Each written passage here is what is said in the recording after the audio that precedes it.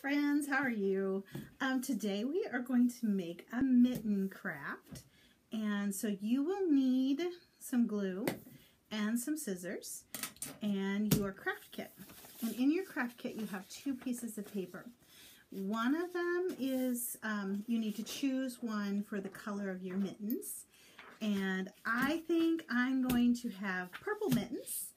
And so you will also need a pen or a pencil. So I am going to, we're going to start, oh, you can read your directions if you like.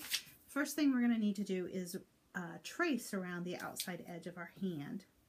So I'm going to start here.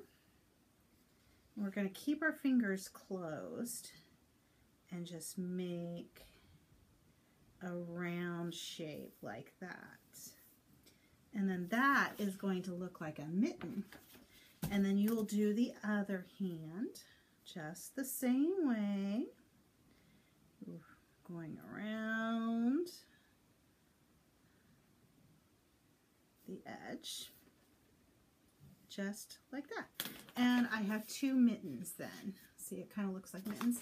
Okay, now, um, moms and dads, caregivers, this is a great opportunity to let your little one practice with scissors if they have some small scissors. The older ones should be able to um, work at this. If you don't feel comfortable letting your little one cut, um, you might do part of it and let your little one work with scissors a little bit. This is a really good skill to have. They will need to be able to use their fingers this way when they get into kindergarten. So the more you can let them practice, the better off you're going to be. But you'll just cut out your hand shape. And these look like mittens. The three little mittens that lost their, the three little kittens that lost their mittens is one of my favorite stories so I was really glad that I got to share that one with you today.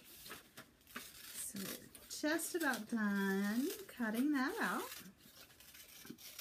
Okay, so if your child is going to decorate these with uh, crayons, you'll want to color on them or marker on them before you put the glue on there.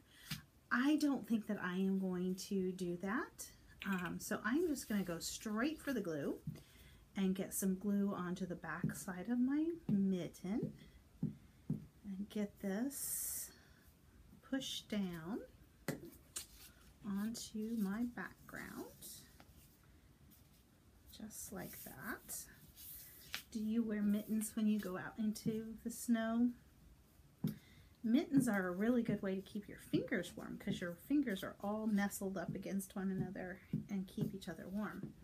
But it's really hard to do things like open the gate if you have your mittens on. So mittens are not, don't have the dexterity that gloves do, but they keep your hands warmer. Okay, you should have some stickers that were in your kit and you can practice just decorating with these lovely stickers. Did you get to choose your own stickers and color of construction paper this time or did mom choose that for you?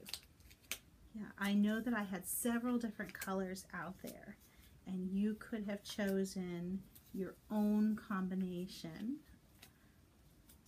or you could just take whatever you get and don't throw a fit. All right, at this point, I am pretty satisfied with my mittens and, and they are pretty decorated with all sorts of colors. The yellow and the pink looks really nice on my purple. So um, I hope you enjoyed it. Come back next week. Bye!